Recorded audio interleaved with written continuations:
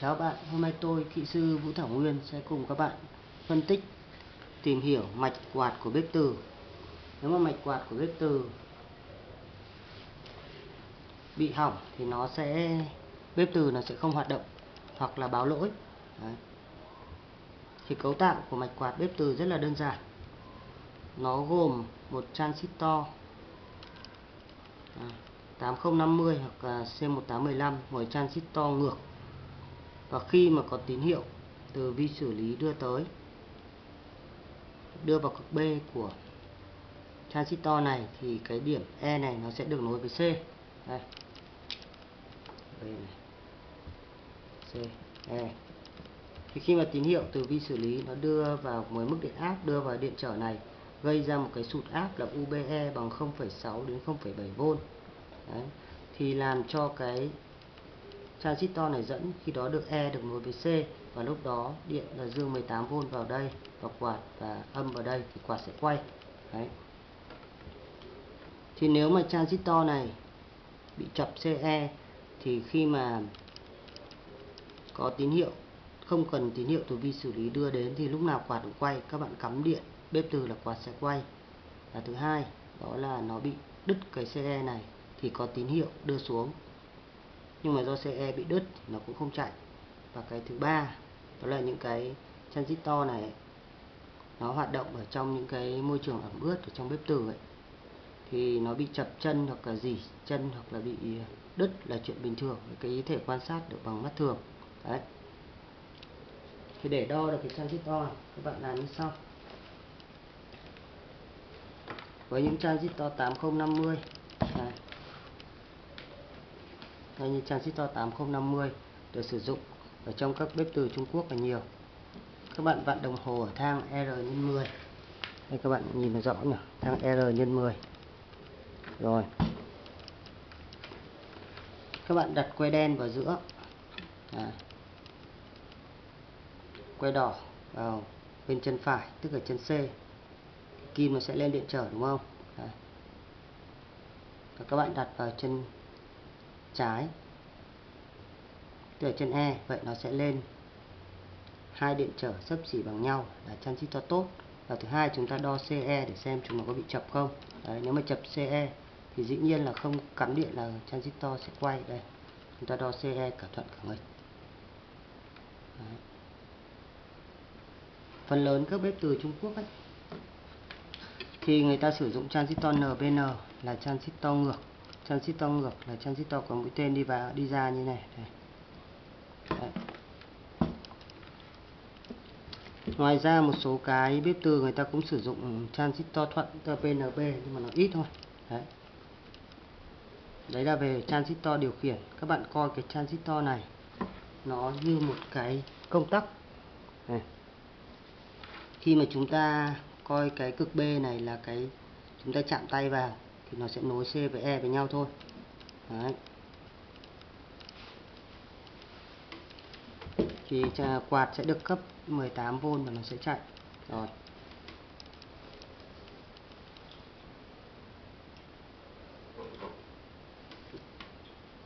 Thì bây giờ chúng tôi lại hướng dẫn các bạn kiểm tra cái quạt.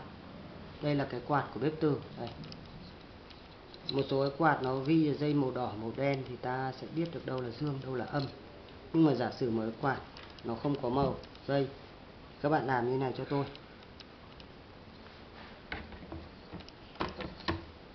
các bạn đo điện trở ở hai đầu cái quạt này bằng thang R nhân 10 Đấy.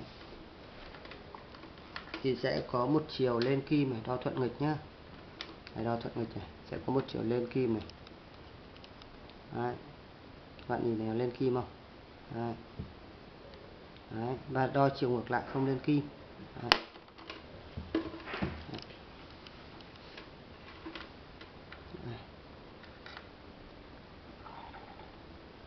này nó hơi ngắn tí, thông cảm tí. Đây, chiều không lên kim mà chiều lên kim này. Cái thang R nhân 10 đấy. Vậy ở cái chiều lên kim ấy, thì dây nào mà nối với cái que đo đen là cực dương của quạt?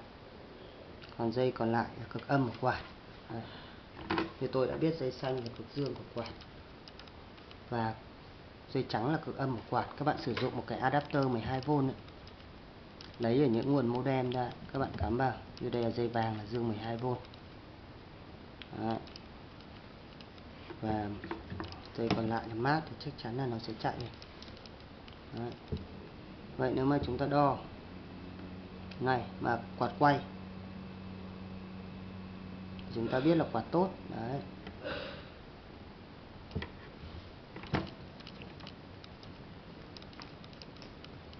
Đây là hình dạng của một cái mạch bếp từ đây. Các bạn nhìn thấy cái con transistor màu đen đây không? Đây đây chính là con 8050 đây. Chỉ như tôi đã nói, các bạn muốn biết được chân nào các bạn làm như này. Các bạn vặn thang nhân 10 các bạn đo thông mạch nhé. Đây. Đây, các bạn đo một trong hai chân. Đây. với nguồn 18V đây nguồn 18V đây. này này nhìn thấy không? Đây nghe thông. Đó thì chính là đây cái chân 18V đây. Để với dương của quạt đây nhé. Đây thì ta biết đây là chân dương của quạt đây này. Nó, nối với nguồn 18V này đấy. đây các bạn nhìn này dễ. Đây. Nguồn 18V với với chân dương của quạt nhé rồi từ giắc quạt đây. Và cực C của transistor đấu với cực âm của quạt đây. Còn lại là cực âm của quạt. Đây, âm của quạt đây. Đấu với cực C đây. Trên đây nó đã in cực C đây. Đấy, cực C đây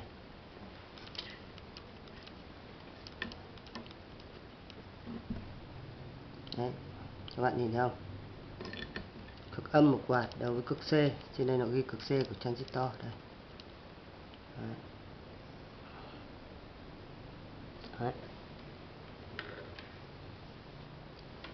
thì hư hỏng chủ yếu ở trên cái mạch này thì như tôi đã trình bày rồi đó là một là nhiều khi là quạt bị chết là do cái IC nguồn này nó bị chập ấy, dẫn đến cái nguồn 18V này nó tăng lên cao đột ngột làm cho cái quạt này bị chết đây hai là transistor này nó cũng bị quá dòng nó gây ra chập hoặc là đứt cái tiếp giáp CE này này đây. CE bị đứt hoặc CE bị chập nếu mà CE bị chập thì khi mà chúng ta cắm điện, quạt đã chạy rồi, không thể tắt được quạt đấy cứ cắm điện là quạt chạy, mặc dù chưa bật bếp từ nhá.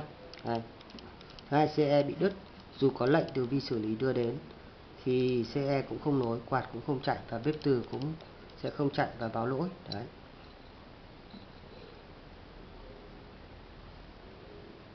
Thì có một cách nữa mà có thể không cần phải cái nguồn nguồn uh, 12V ở ngoài để xác định được là quạt này nó nó có sống hay không để mình sẽ bày cho các bạn một cái cách rất là nhanh đây nha các bạn này mình sẽ bày cho các bạn một cách này rất là nhanh nhé.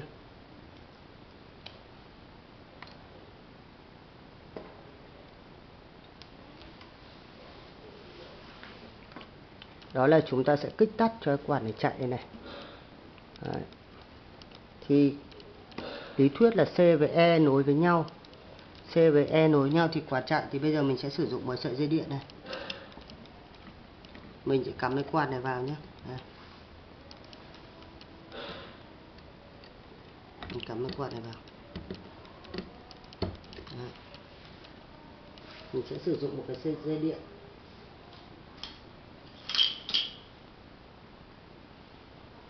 các bạn nên sử dụng một cái sợi dây điện để đề phòng bị giật thôi, còn không thì nó cũng chả giật được đâu mà sợ.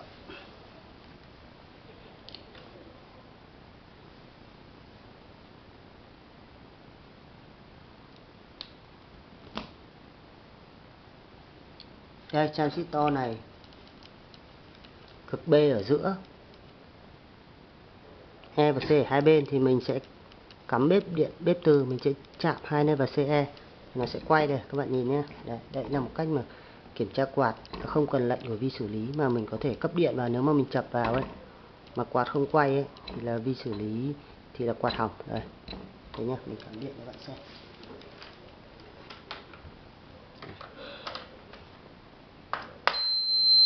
Đấy, các bạn nhìn nhá. Bây giờ mình sẽ dùng cái dây này mình chập vào hai đầu CE mặc dù là mình chưa bật gì bếp từ nhé nó sẽ quay này. Đấy. Đấy.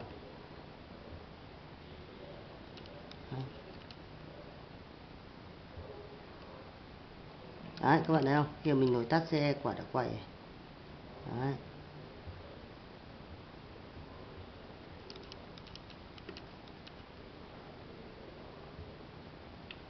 Cái này nó chưa tiếp xúc tốt lắm. Đèn UCB